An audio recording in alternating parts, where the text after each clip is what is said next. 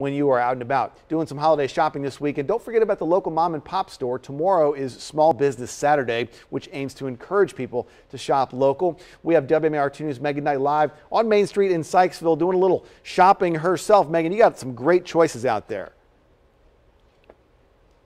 I really do, Christian. And there's just so much variety here on Main Street in Sykesville, where we're going to be all morning long. We were just at Revive and Company in the last half hour. So many beautiful Christmas decorations.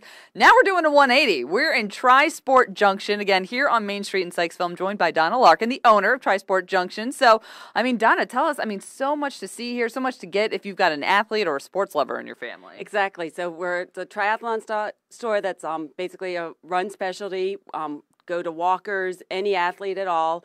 Um, we do a wonderful gait analysis. Um, you come in, we're here for the community. We want everybody that walks in our door to feel like family. It's it's a um, wonderful place to just come. We want to hear about your races, your goals, everything that's going on. So um, it's been a really, really fun um, place to be, especially being here on Main Street with all the other shops too. Mm-hmm. So I mean, you're you're local. You you know you raise your kids here in this community. So is it nice to have a store now and to get to see these folks and then maybe get to meet some new folks too? Exactly. Um, my co-owner Jane and I, um, we opened the store about four and a half years ago because we knew there was a need for this in the community. Um, our kids went to school here; they were always running, going to other places out of the county to get their apparel and shoes.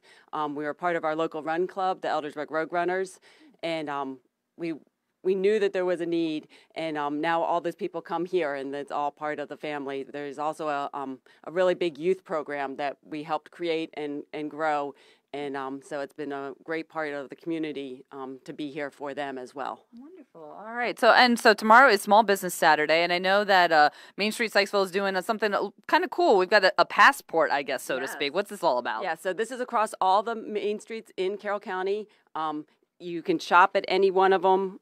Um, you have to shop at eight stores okay. at any any one of the main streets and um, you get entered into a raffle. So you turn it in. It's from Saturday tomorrow through next Saturday, and when you're all done, you turn it into the um, library, and I forget how many people, um, but they'll be pulling um, raffles, and they'll get a fifty dollar gift card to the store of your choice on one of the participating stores. Very cool. All right, so pretty cool. So another incentive to come out here, definitely, and get your passport. Shopping local is like one of the best things. You you see all your friends and families when you're out. Um, we all live in the area, and it's just wonderful to be part of such a busy, fun, thriving Main Street here, and anywhere on on Main Street, Sykesville is a great place Absolutely. to shop. Absolutely, so. Donna. Thank you so much. Appreciate you taking the time this morning. So again, Tri-Sport Junction. Come on down. Come on down to all the stores here. If you're looking for that unique gift for the holidays, you know, maybe skip the big box store. Come down to your local mom and pop store. Show them some love and show them support. All right, we got another store that we're gonna head to down on Main Street there. So again, we're gonna pack up. Christian, head down there, and we'll see you uh, at uh, 5:30.